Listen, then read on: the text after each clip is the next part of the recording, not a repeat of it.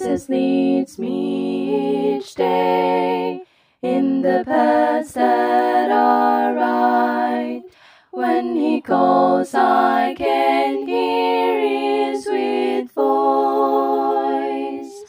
All along on the way, I get blessings from him, and in his blessed name I rejoice. Keep on leading me, Lord.